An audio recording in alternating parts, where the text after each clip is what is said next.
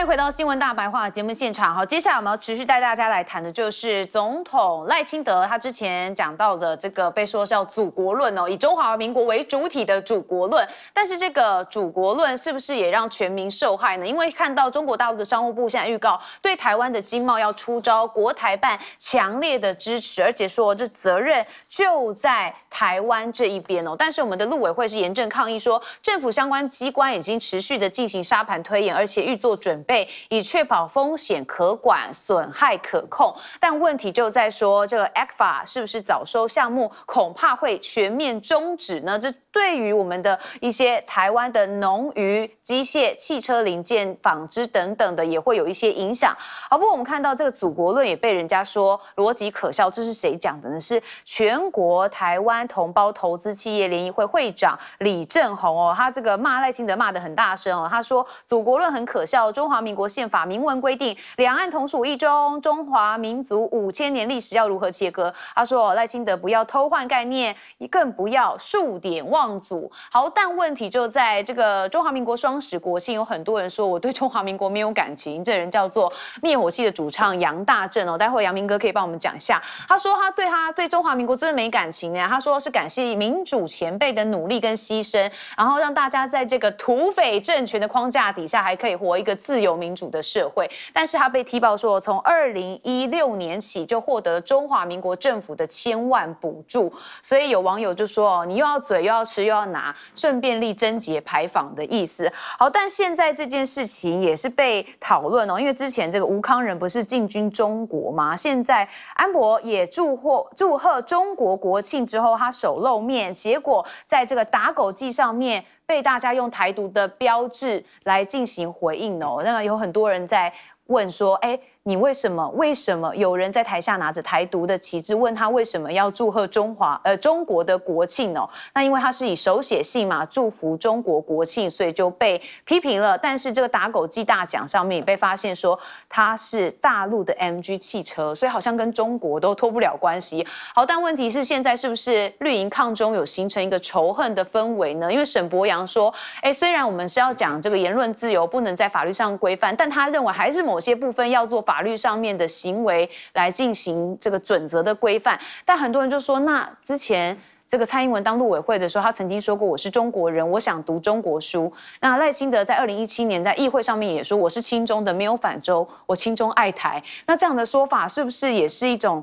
那要不要查他们两个呢？他们是不是也是一种爱中国的表现？所以很多人说这个是不是一种审查言论？难道是警总复辟吗？那最后我们来看到就是这个黑悟空最近终于可以在台湾过审上市了，所以很多玩家也蛮期待的。但问题就是之前也有很多人是被抓哦，说你怎么可以在玩这个黑悟空呢？包含我们 TVBS 政论节目主持人翟轩哦，他也被查了。但现在过审了，很多人说那是不是代表？民进党，你们现在是支持统战的吗？哇，这帽子也很大，但是很多人是这样讨论的。杨明哥，呃，首先第一个就赖总统他们的这个，不管是祖国论也好，或者是他的国庆演说的这个大概哦，呃，他在国安团队哦，那位匿名人士不是说不管赖说什么，对岸都会展开联合利剑 B 的演习吗？我们现在看到对岸有演习吗？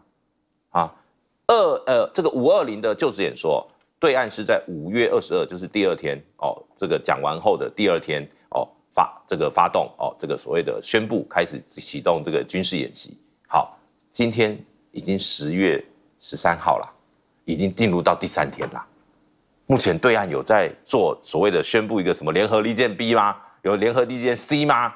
没有啊，没有看到啊。我们的国安团队怎么了吗？哦，还是这个就是你们一贯的这个套路？哦，就打预防针哦。如果有演习啊，你看，你看，我们说中了。好，这个叫包牌式的预估哦，毫无意义。特别讲一下这个灭火器的主唱杨大正哦，他发的这篇文章哦，我必须讲，关键在于说，是因为你瞧不起中华民国，你不承认中华民国，你说中华民国哦是什么土匪政权的架构。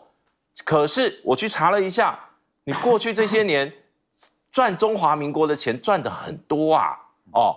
哦，你你只讲补助，很抱歉，哎，演出你到中华民国的政府机构所办的活动演出，尤其国庆哦、跨年哦、元旦升旗这些都国家庆典嘛，你可参你参加可多嘞，哦，你要不要讲一讲你这些这些活动，你出来演出，你你是参加哪一个国家的国庆活动？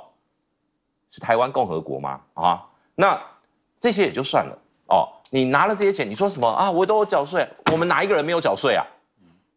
有缴税就怎样？啊，你缴的是哪一个国家的税？中华民国，你不是讨厌中华民国啊？你可以，你可以不缴啊？你在这一次的事件，你可以不讲中华民国，你可以，你你不喜欢中华民国，你不用出来骂他哦。更何况现在连你赖清德总统都讲中华民国，你们这些独派才应该要好好检讨一下自己的定位啊！去跑去安普的这个演唱现场举台湾独立国这个这个旗子，意义没有，那个没有意义啊！你们应该要去赖总统的公开行程举啊，因为他现在是中华民国派啊，他没有要台湾独立耶，他的务实台独现在叫中华民国啊！各位独派的朋友，各位台派的朋友，你们现在该去抗议的对象叫赖清德，至于杨大正。哦，你说什么？我们是什么啊？什么什么带风向要攻击？你拿这些补助，我跟你讲，我一点意见都没有。哦，你该你的就是你的，但是你不要拿了国家的钱又嫌国家脏，这种行为我看不下去。哦，你可以闭嘴，你可以从此以后不参加中华民国政府办的所有活动，更不要说今年哦有一个国国家交响乐团办的活动。预算还保密嘞，还说是商业机密，邀请你唱歌还要保密嘞，很生气。好，但刚刚我要讲一下是安普哈，焦安普，因为之前我都比较常讲彰显呐，所以刚刚有稍微念错，跟大家更正。好，红慧姐怎么看？嗯，其实不止杨大正啊，你大家记得那个那时候跟高嘉瑜一起参选。这个立法委员的吴兴代啊，他还讲说中华民国不是我的祖国，我的祖国还没有诞生呐。哦，这个呃，其实他他参选的不就中华民国的立法委员吗？是对不对？所以呃，我觉得不管是杨大正也好，或者这个呃吴兴代也好，就是这是他们的言论哈。其实因为台湾就是一个保障言论自由的国家嘛哈，所以我们当然听了非常非常生气。有人要参选。啊，以后就是他参选上，他当然就是拿公堂啊，对不对？有人要拿我们的纳税人的这个补助，那可是我就要请问这个沈博阳了，因为你现在是立法委员，你又讲说，哎呀，如果是修法的话，那个呃，就是会有前置言论，但是呢，应该要有准则。那请问准则是什么？也许在沈博阳的这个呃他的他的准则里面，就是像杨大正跟吴信来讲的，就是好棒棒，不是吗？如果是别人的话，只要稍一不顺他的心，他觉得就是认知作战，然后他就要用所谓的准则来规范你的言论自言论，甚至限制的言论自言论。而且一旦用法律的时候，你是不是还要要有一些法则？就是我们今天不只是呃赖清德有这种非常真的，我们觉得非常独裁专制的一个想法，连你用的不分区立委不是就被你提名这个？我忘了是第一名还是第二名啊？对不对？不是也是有这样的想法吗？只要不是我的想法，就是非我族类，然后我就可以用法律来规范、来来管理你，我甚至来处罚处罚你。那同样的嘛，就像我们在讲黑悟空，当时不是也讲说黑悟空是认知作战？那我请问你一下，现在通过了，它可以在那个台湾上市哦，我们我们的玩家不需要再再再跨境啊？请问一下，这是我们的政府就是协同认知作战哦，中共同路人哦，抓出来啊！对吧？谁通过的？是不是就中共同路人？太扯了！我们很多的事情啊，一直把它弄成一个意识形态，不停的撕裂，不停的对立，不停的制造仇恨。不仅于此，包含今天马上就要结束的一场罢免案，不是也是一样制造仇恨吗？制造对立。所以我觉得赖清德啊，清德宗，你作为一个虽然你是百分之四十的少数的总统。当你讲说你要跨领域、跨区域、跨跨党派、跨朝野，要来做团结的时候，你真的是做团结的事情吗？你在团结上面，你到底做了些什么吗？还是我们只是听你是说一套做一套而已？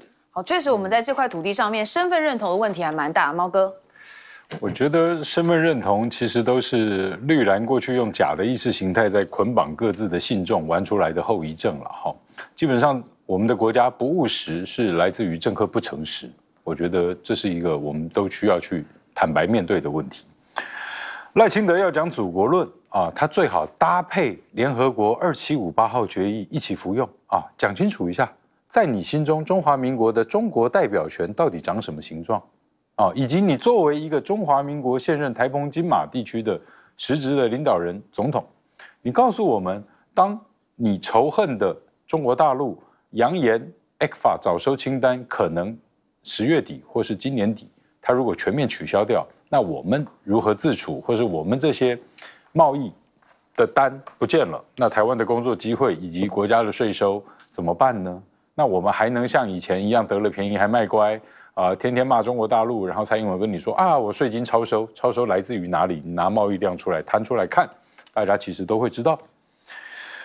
诈骗集团呢、他对于这个受害人跟把钱被他骗走的人，他也不会有情感啊。就像有人说，他拿了中华民国的标案，拿了中华民国的补助，拿了中华民国的薪资，